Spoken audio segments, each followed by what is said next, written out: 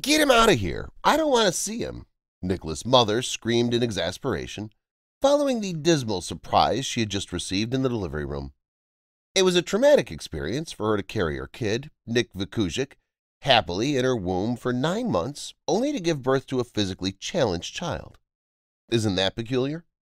She had loved him from the moment she saw him in the womb, but she was torn between rushing emotions of anxiety, concern, and terror about what life had in store for him. He is one of just seven people known to have tetra amelia syndrome, a rare condition in which both arms and legs are missing.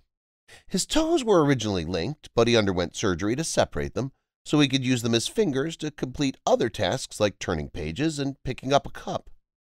He can now use his little toes to operate an electric wheelchair, a computer, a cell phone, and other tasks without assistance.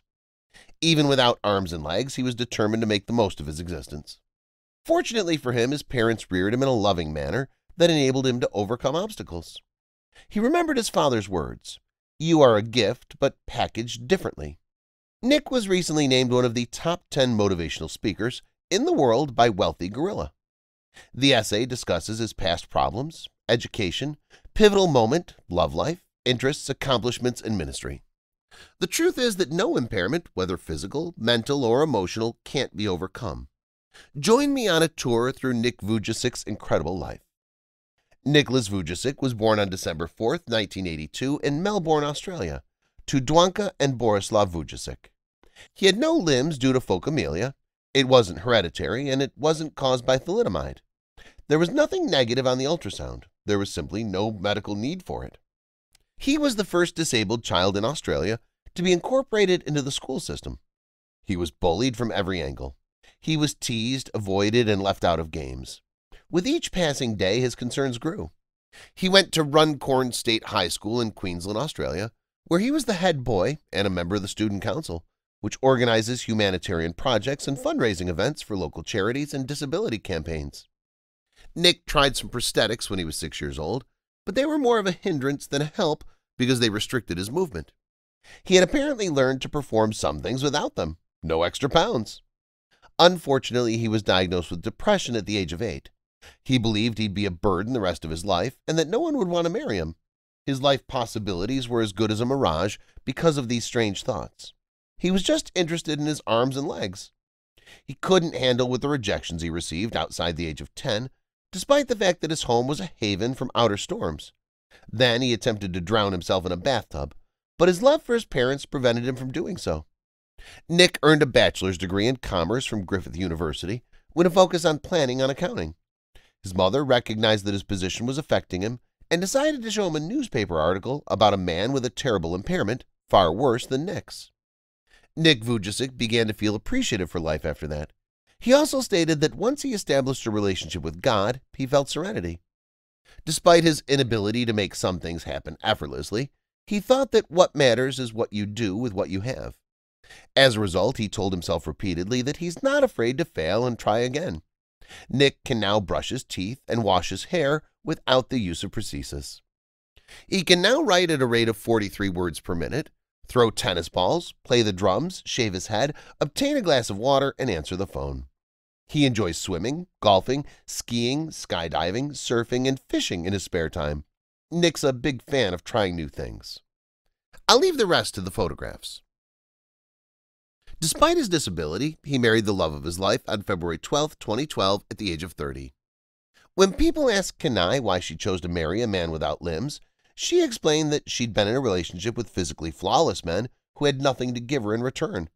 Nick impressed her with a good heart, love, compassion, kindness, a huge heart, and a sense of humor. Nick originally met his Japanese-American wife in Texas, where they fell in love at first sight.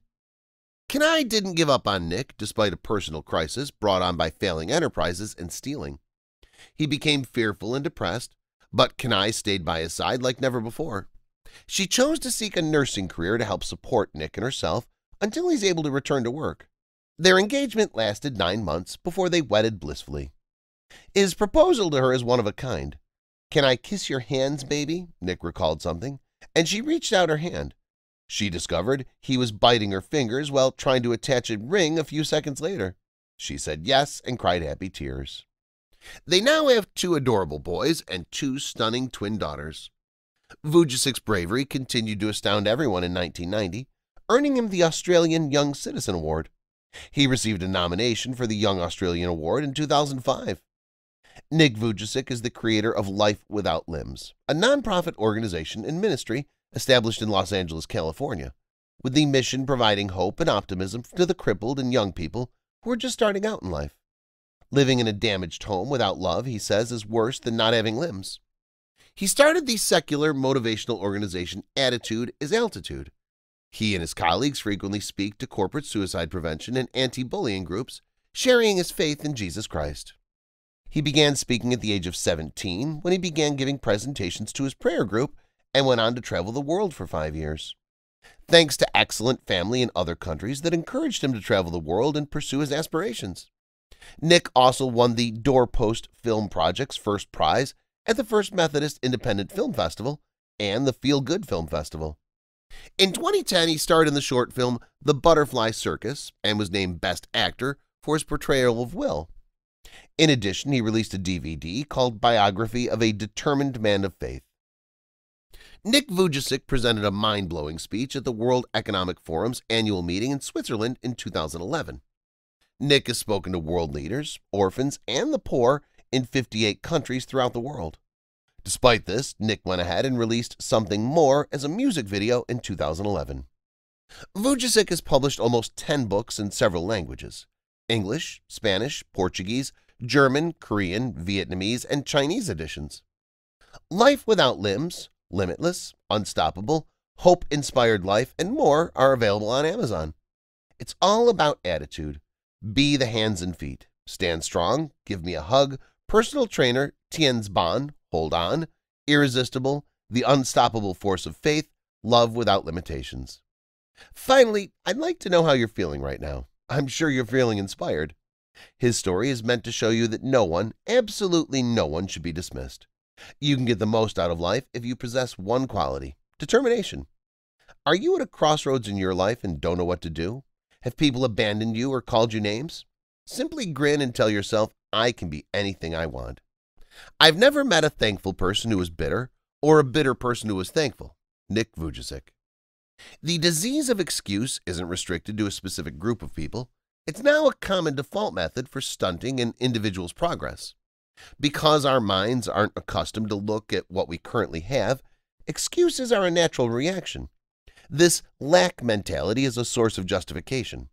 We've mastered the ability to always look for what we don't have, a talent that's actually a negative ability. Hey might be a popular argument.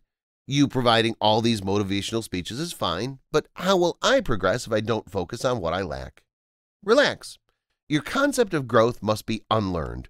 It doesn't happen if you obsessively focus on what you don't have, whine about it, or create excuses. Growing literally implies a progressive acquisition of a specific characteristic or attribute, or being better than you were yesterday. Would you work towards happiness or with happiness if you were thankful today? Recognize the subtle differences, not by avoiding difficult tasks, not if you question yourself. But you may start by being grateful for what you already have. He once said, I have many dreams and goals that I have set to achieve in my life, I want to become the best witness I can be of God's love and hope, to become an international inspirational speaker and be used as a vessel in both Christian and non-Christian venues. I want to become financially independent by the age of 25 through real estate investments, to modify a car for me to drive, and to be interviewed and share my story on The Oprah Winfrey Show. Writing several best-selling books has been one of my dreams, and I hope to finish writing my first by the end of the year. It will be called No Arms, No Legs, No Worries. That's it for today's video, my dear listeners. We hope you liked it as much as we did. If you liked the story, please don't forget to share it with your friends and family. And don't forget to activate the notification bell so YouTube can notify you every time we upload a new video at Viral Story.